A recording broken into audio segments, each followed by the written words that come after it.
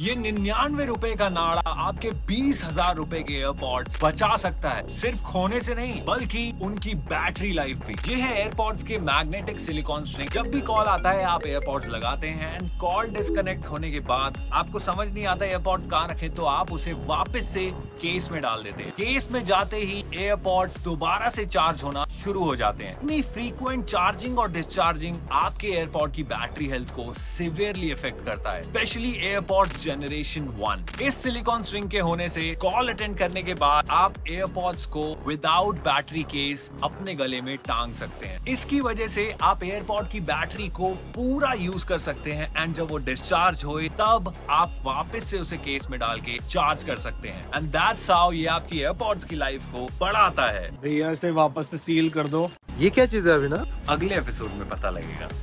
ले बेटा हो गए सील